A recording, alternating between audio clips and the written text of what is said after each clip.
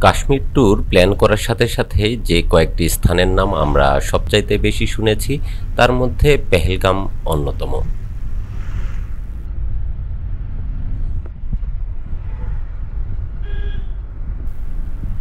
আমাদের ইচ্ছা পেহেলগাম ভ্রমণ করে একটা রাত আমরা পেহেলগামেই থেকে যাব।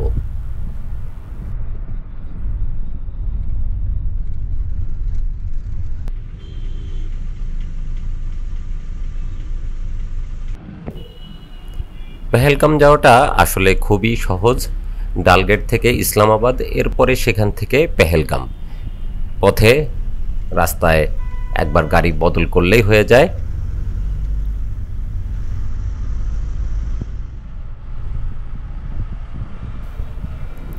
আমি আর রফিক পেহেলগাম যাওয়ার উদ্দেশ্যে হোটেল থেকে বের হয়ে পড়লাম। প্রথমে আমরা ডালগেট থেকে উঠে পড়লাম ইসলামাবাদের একটি শেয়ার ট্যাক্সিতে। এখানে জনপ্রতি ভাড়া একশো বিশ রুপি করে।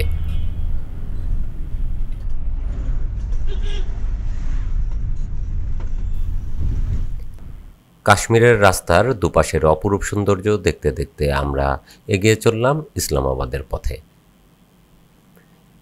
কাশ্মীরে এসে দুপাশের প্রকৃতি যতই দেখছি, আমরা যেন ততটাই মুগ্ধ হচ্ছি। উঁচু উঁচু পাহাড়, সবুজ গাছ আর অসম্ভব সুন্দর এই জায়গা।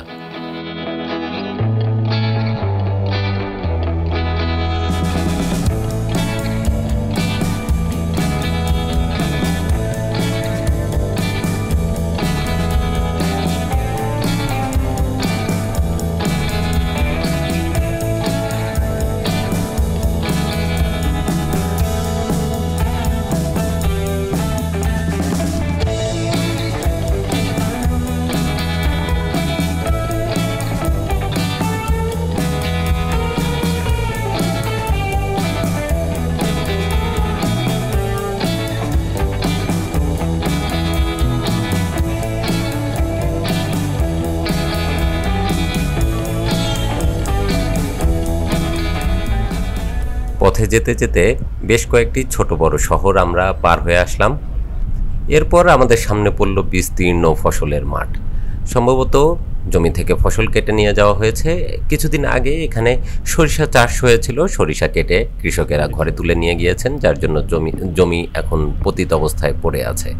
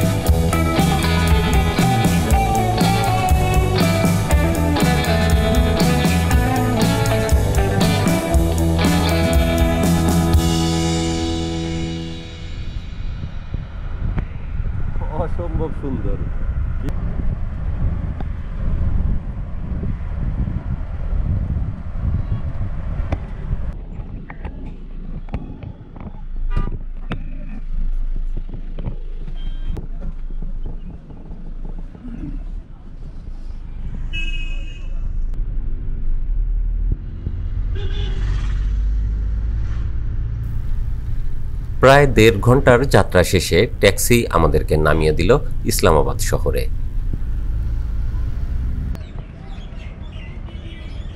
নয় মাইল নয় কিলোমিটার বলছিলাম না তুমি না না ওটা আরেকটা দেখাই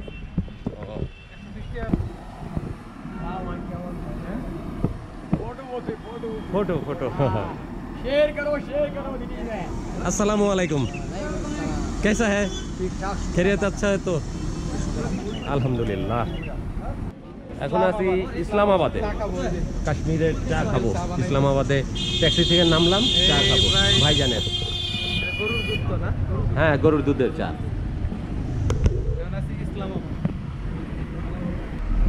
শুক্রিয়া জানাব।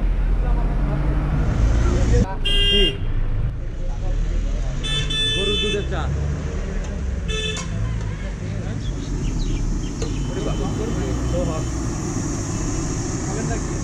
ইসলামাবাদ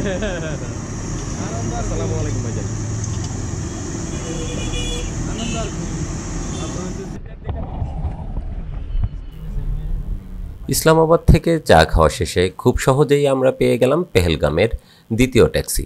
আমরা এই ট্যাক্সিতে চেপে বসলাম।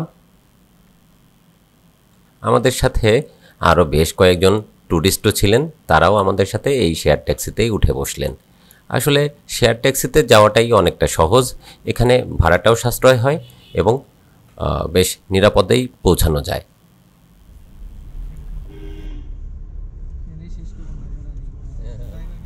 ইসলামাবাদ থেকে পেহেলগামের ট্যাক্সি ভাড়া একশো রুপি। সময় লাগে ঘন্টাখানেকের মতো। কই যাচ্ছি আমরা? পেহেলগাম। পেহেলগাম। কাশ্মীরের পেহেলগাম।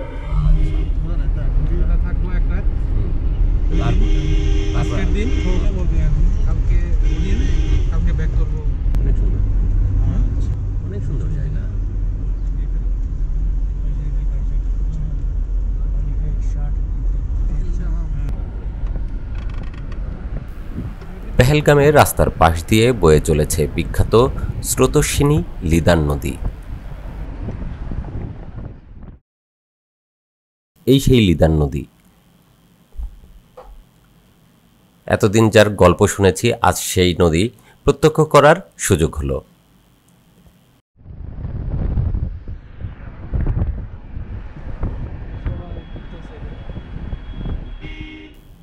পেহেলগামের বিভিন্ন স্পটগুলি পর্যটকদের পদচারণায় এখন মুখরিত।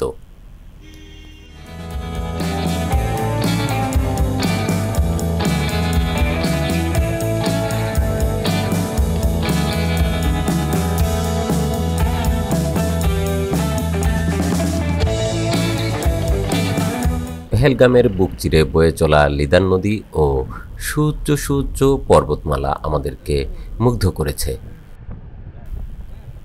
পর্বতচূড়ায় জমে থাকা সাদা সাদা বরফ সূর্যের কিরণ লেগে জলজল করছে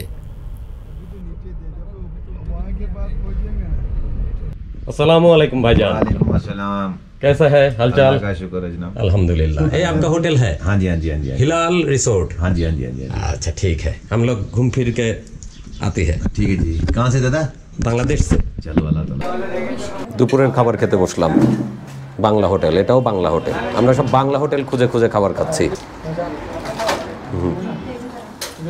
জোস। আর কি কি দিছে? ভাত। আলু পোস্ত। ডাল। সবজি। আর এটা হচ্ছে ভাতের থালি। থালি বলা হয়। এক থালি একশো ষাট টাকা। এবার খাব। খেয়ে চলে যাব। পেহেলগাম। দর্শন করার জন্য।